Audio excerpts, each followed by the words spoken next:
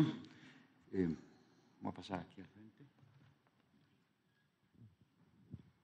Perfecto. Bueno, pues muchísimas gracias, señor presidente. Muy buenos días a todos y a todas. Vamos a hacer una recapitulación de los avances de planeación y mejoramiento urbano. Siguiente lámina. Quisiéramos arrancar con dos aspectos fundamentales en el cual el día de hoy nos vamos a concentrar. El primero es el tema de la planeación, la planeación urbana y por qué la importancia de esa planeación urbana el día de hoy y en los proyectos prioritarios del gobierno federal.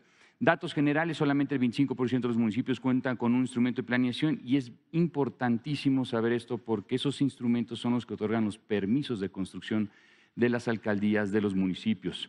Eh, el acceso es desigual, o sea, eso quiere decir que si no hay una planeación llega a costar cuatro veces más la introducción de servicios básicos, agua, luz, drenaje, pavimentación. La urbanización tiene un costo importante, está consumiendo 14 mil hectáreas por año, lo equivalente a la zona metropolitana de Morelia, y la falta de acceso a la vivienda, uno de cada cinco mexicanos viven con un asentamiento irregular. Eh, Cauquel, Mérida es un ejemplo, 2004, 2024 eh, creció ocho veces. Esto es un ejemplo entre muchos más y las consecuencias de la falta de la planeación. Siguiente lámina. ¿Qué hemos hecho en, este, en esta administración? Además de acompañar a los grandes proyectos de desarrollo regional, hemos hecho más de 300 instrumentos que impactan en el 43% de la superficie nacional. 46% de la población viven en esos territorios. Se ha reducido el 60% del crecimiento de la mancha urbana con la aplicación y seguimiento a esos instrumentos a partir de esta administración se han definido casi 1.500 proyectos de movilidad, infraestructura y servicio en coordinación con estados, con municipios, el gobierno federal. También una tercera parte de esa superficie en cada uno de sus instrumentos se ha destinado a la conservación ambiental y se contemplan reservas de suelo de vivienda bien ubicada para que, sobre todo, la siguiente administración los tome en consideración. Siguiente lámina. Algunas imágenes de los procesos participativos más de 2.000, casi 2.900 mesas de trabajo con 20.000 participantes. Hemos comentado 300 municipios, 25 gobiernos estatales se han involucrado y la coordinación de más de 600 técnicos en todos los procesos participativos para el desarrollo de estos programas. Su aplicación, siguiente lámina. Algunos ejemplos de lo que hemos eh, realizado a lo largo del Tren Maya. No solamente es infraestructura, no solamente es obra, también es planeación, planeación al futuro. ¿Esto qué quiere decir? Que la tendencial, por ejemplo, en este caso del desarrollo regional, tiene a un 40% de crecimiento las zonas urbanas, seguiría en esa misma tendencial, incluso incrementando el 2020 a 2030, 45%, pero con la aplicación de estos instrumentos en cada uno de los diferentes municipios donde se encuentra o cruza el tren Maya, se va a reducir a un 25%. Eso equivale, nos vamos a ahorrar 16 mil hectáreas menos de tala eh, en esas zonas. Es un tema muy importante. Siguiente lámina. En el caso del Istmo de Tehuantepec, en este caso, bueno, hemos eh, realizado 125 mil obras, 51 mil acciones de vivienda. Aquí, como ha comentado el señor presidente, se busca incentivar el desarrollo de los polos de desarrollo en esta región. Por eso es que eh, este instrumento lo que busca es que se tenga un crecimiento regulado, eh, contenido que equivale a 12 mil, eh, perdón, 12%, lo cual nos da 14 mil hectáreas menos de eh, crecimiento urbano. 97% no urbanizable, solamente el día de hoy tenemos el 2% y se contempla en 10 años un incremento del 0.5% del territorio a través de los polos de desarrollo. La siguiente lámina. Otro ejemplo de proyectos regionales que van acompañados con planeación el caso del Aeropuerto Internacional Felipe Ángeles, 40 obras, 21 mil acciones de vivienda en las inmediaciones. La tendencial, fíjense, 15% de crecimiento urbano del 2010 al 2020 y tendríamos del 2020 a 2030 casi lo mismo, 1% más 16, pero con estos instrumentos los reducimos, los reducimos al 10%, son 1.500 hectáreas menos de desarrollo urbano, más de preservación y conservación. Son algunos ejemplos de lo que hemos implementado a lo largo de los grandes proyectos de desarrollo regional del gobierno federal.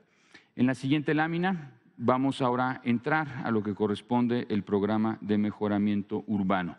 Este programa, como ha comentado eh, el señor presidente, ha consistido en la conformación de equipamientos y espacios públicos a lo largo del territorio nacional.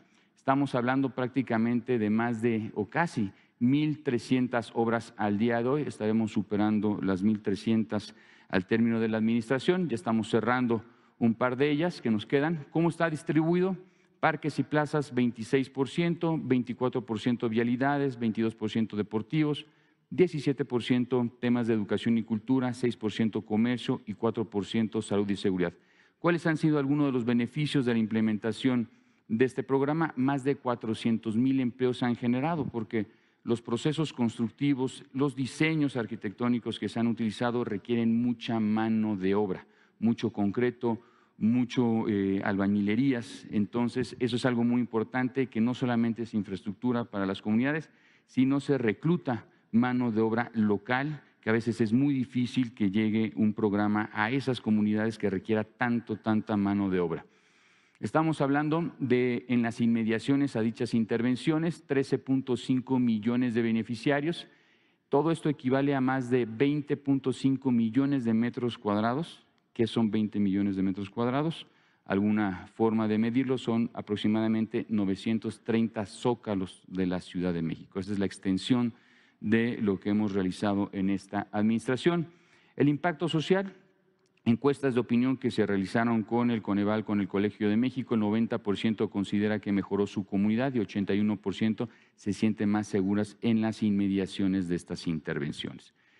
Vamos a ver algunos casos. Eh, las tipologías, como ya lo comentamos, 278 eh, han sido para temas deportivos, educación y cultura 222, comercio, o sea, mercados, mercados en centros históricos principalmente 80, salud, seguridad y administración, desde eh, equipamientos de seguridad pública, temas de palacios municipales, por ejemplo, la foto aquí es Iguala Guerrero, se rehizo completamente eh, el centro histórico y lo que sería el Palacio Municipal de Iguala y algunos, algunos ejemplos de parques y plazas.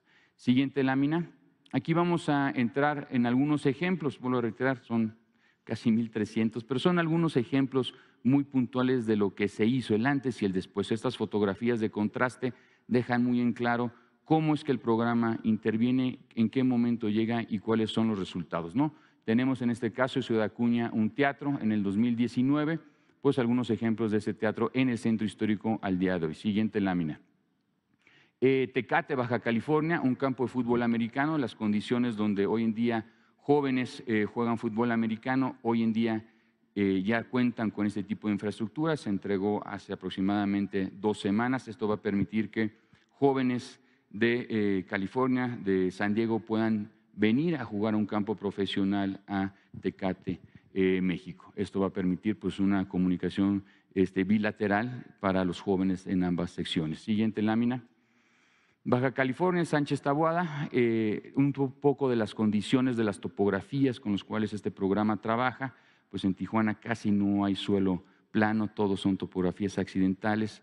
Entonces es muy complicado llegar a ser eh, espacios públicos porque no hay suelo plano. Pero algunos ejemplos, en este caso, un deportivo, un centro cultural, siguiente lámina. Tapachula, una antigua estación de principios del siglo XX, con reminiscencias de Art Deco cuando nosotros llegamos, pues era un punto de recopilación de basura en el centro, en el mero centro de la ciudad de Tapachula es uno de los eh, grandes ejemplos de éxito de intervenciones. rescatamos completamente la arquitectura y generamos, digamos, un equipamiento, espacios públicos en las inmediaciones. Siguiente lámina. Skate Park eh, Ciudad Juárez es uno de los eh, equipamientos de mayor uso intensivo que hemos realizado en la administración.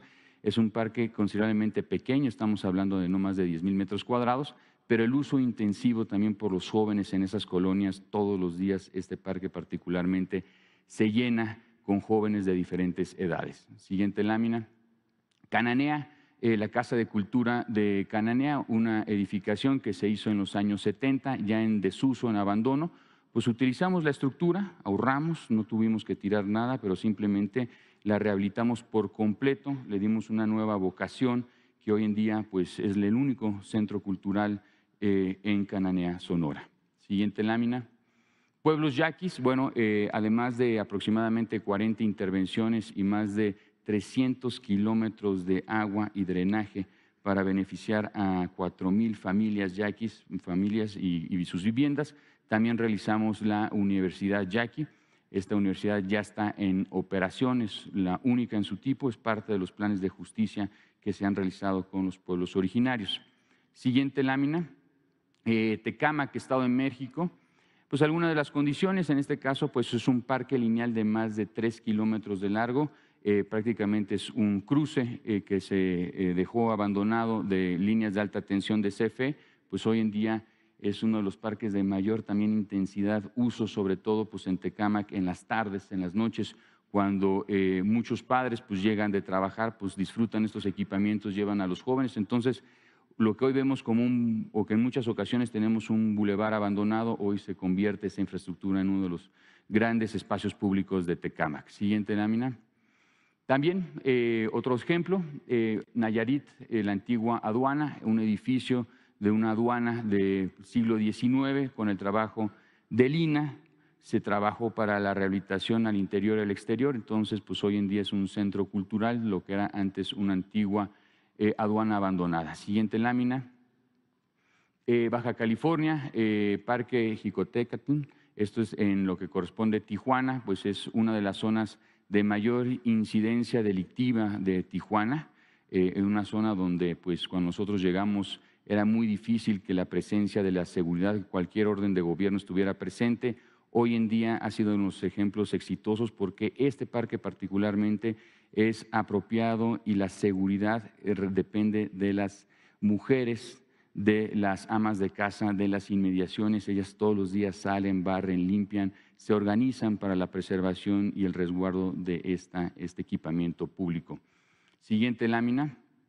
Eh, parque Bicentenario, bueno, este eh, parque lo inauguramos con la señora gobernadora hace aproximadamente dos meses. Es una intervención muy importante porque en el caso de eh, Catepec es uno de los municipios de mayor eh, densidad habitacional a nivel nacional. Entonces, era un parque que era, desegregaba completamente a la población, estaba bardeado, entonces pues nadie entraba realmente, estaba oscuro. Hoy en día es un, un puente de comunicación entre dos diferentes colonias que se encontraban separadas y hoy en día el parque, además de los equipamientos, los espacios públicos, campos de fútbol, campos de béisbol, tiene una alberca, tiene un lienzo charro, que es una de las solicitudes que nos habían solicitado en, en Ecatepec todos los programas, pues vamos previamente, los trabajamos con la comunidad, definimos el programa arquitectónico y lo ejecutamos. Siguiente lámina.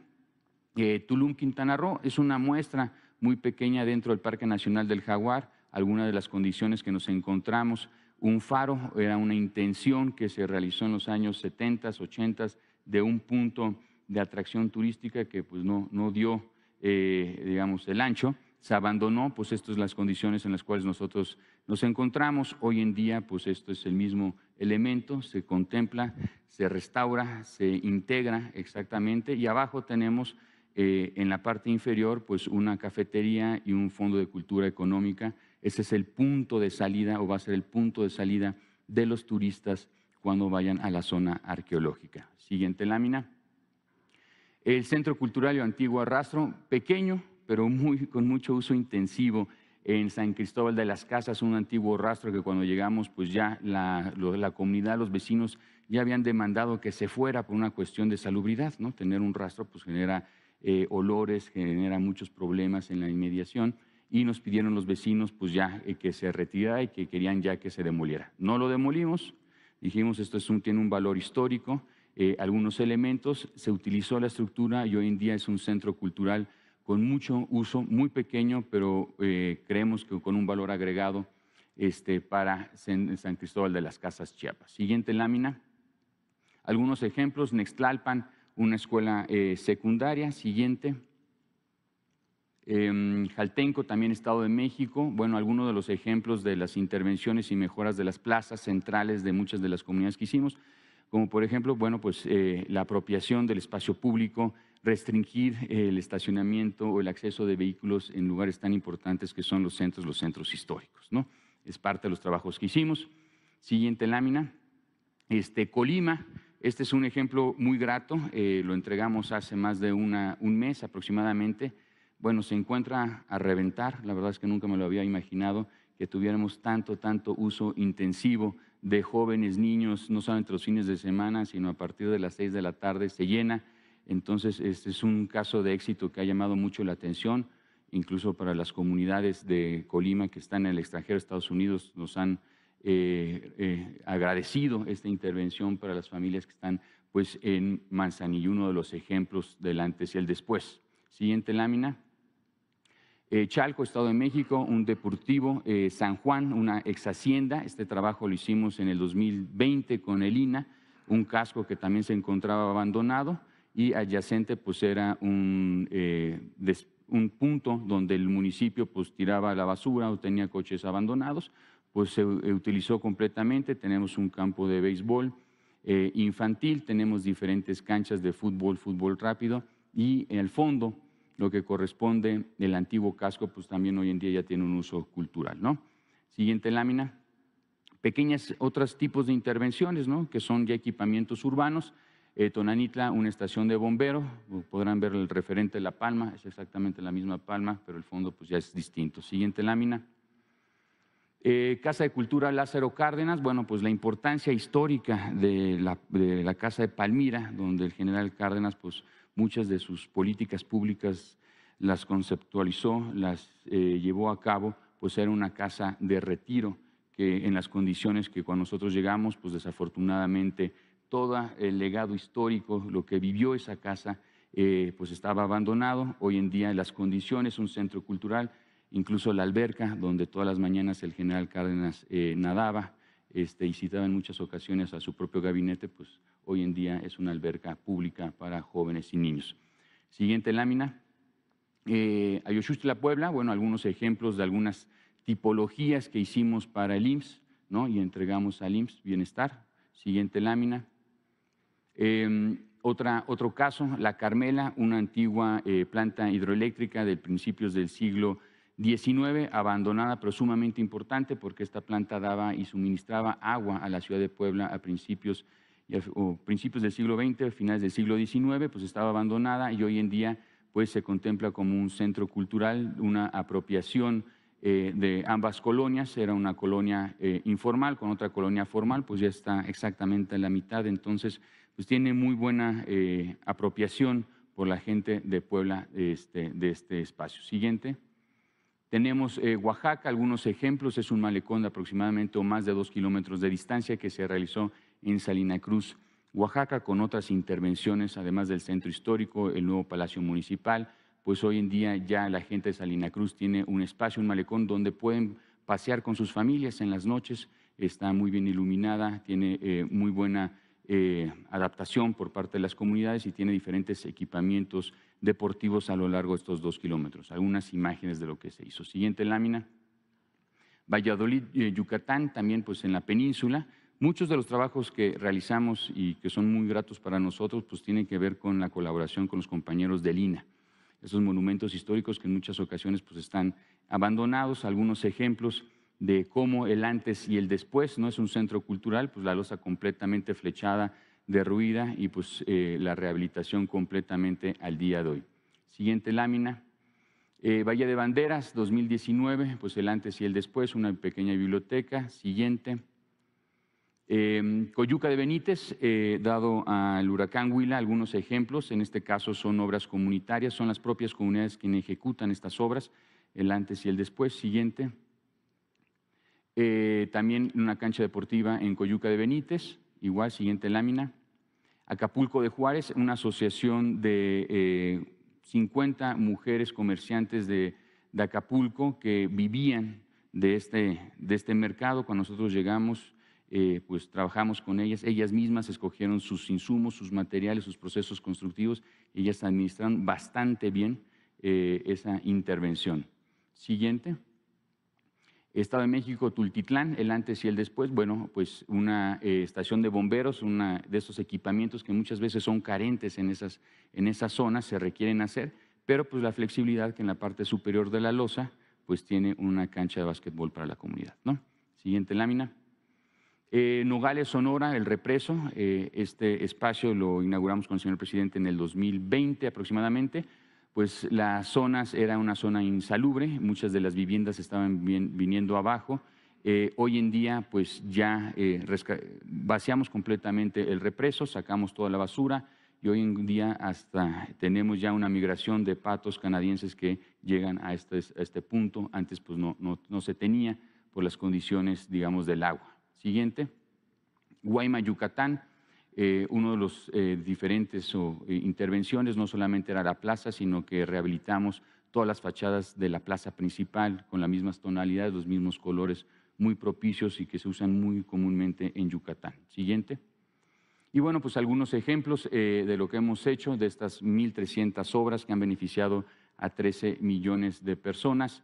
Eh, hemos obtenido, se han obtenido 206 premios nacionales e internacionales de arquitectura y eso es importante, no por los premios, sino por el valor agregado de que la arquitectura es un valor hacia las comunidades, hacia el espacio público, aquello que es de todos nosotros. Ese es un valor agregado que hemos estado buscando que los espacios públicos que se hayan ejecutado en esta administración pues eh, contemplen o que se hagan de la mejor forma posible. Siguiente lámina. Como comentaba el señor presidente, estamos en uno de los proyectos más importantes, tenemos un avance del 84%. Algunas imágenes de cómo se encuentra el día de hoy el archivo em, agrario, este archivo tan importante que es el segundo archivo más importante a nivel nacional. Después del Archivo General de la Nación, el archivo eh, agrario que contempla prácticamente más de 45 kilómetros, kilómetros de papel, de expedientes históricos que van previos a la colonia. Tenemos códices, tenemos todo lo que corresponde, el sustento y la conformación de lo que es el territorio nacional de los ejidos y las comunidades.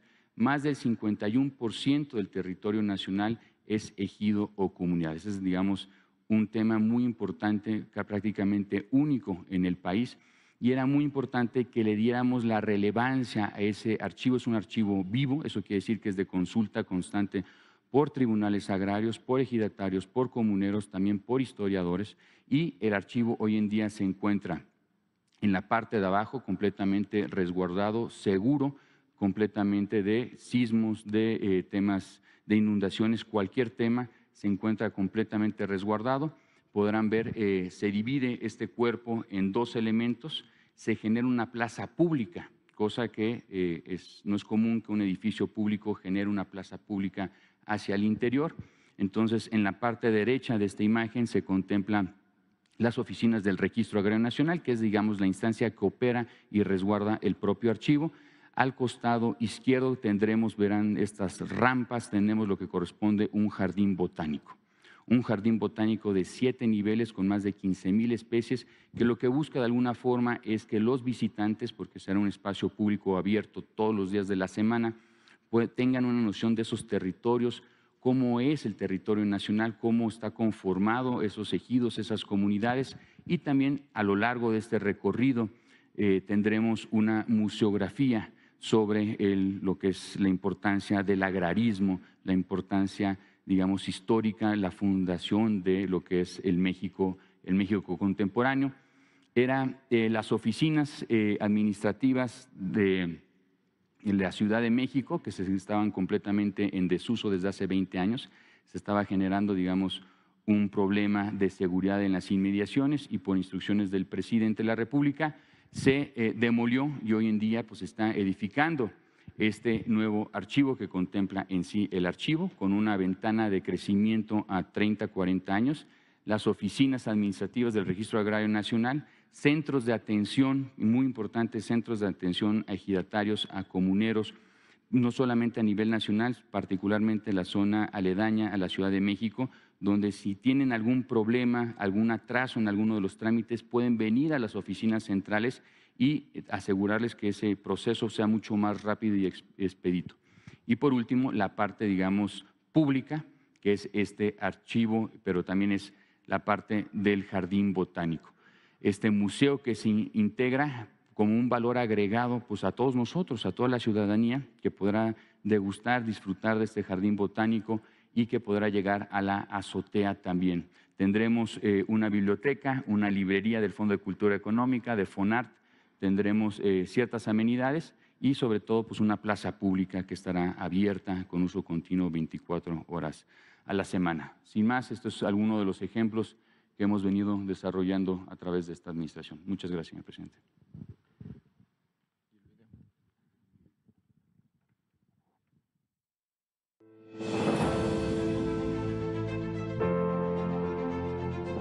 Siempre he dicho, nunca es tarde para aprender. Si yo tuviera la persona que construyó el CD y el Papa, le daría las gracias. La verdad, aquí estamos muy bien. Las alumnas están muy contentas con el espacio que nos brindan. No dejamos que la cultura se pierda. En la Secretaría de Desarrollo Agrario Territorial y Urbano del Gobierno de la Cuarta Transformación hemos trabajado como nunca haciendo más con menos. Llevamos casi 1.300 obras de espacios públicos en 193 municipios de 26 estados, que equivalen a 930 zócalos de la Ciudad de México. Nuevos parques, plazas, teatros, bibliotecas, skateparks, centros comunitarios, escuelas, deportivos, mercados y mucho más. Estos espacios benefician a 13 millones y medio de personas de norte a sur en nuestro país. Todo esto se hizo con una inversión de casi 35 mil millones de pesos. A la fecha, estos espacios han recibido más de 200 premios y reconocimientos nacionales e internacionales. También trabajamos a favor del crecimiento urbano justo, sostenible y seguro. Terminaremos el sexenio con 300 instrumentos de planeación que ordenarán y regularán el desarrollo urbano de casi la mitad del territorio nacional en el corto, mediano y largo plazo. Acompañamos el desarrollo de los grandes proyectos de este gobierno, como el Tren Maya, los aeropuertos internacionales Felipe Ángeles y Felipe Carrillo Puerto y el corredor interoceánico del Istmo de Tehuantepec, para ampliar su impacto positivo. Alrededor de estos proyectos prioritarios hemos construido 300 espacios públicos, elaborado casi 100 instrumentos de planeación y beneficiado a más de 150.000 familias con vivienda, Además, llevamos a cabo 10.000 acciones de regularización. Todo esto con una inversión de más de 22 mil millones de pesos. En suma, hemos demostrado que se puede hacer más con menos. El trabajo de la cuarta transformación se ve en el territorio y la gente da testimonio de eso. Quiero darle gracias a todo el, equipo de Sedato porque siempre estuvieron de la mano con nosotros. Estos programas son los que vienen a dar realce a los pueblos. Esto es la cuarta transformación. Oh, Muy bien.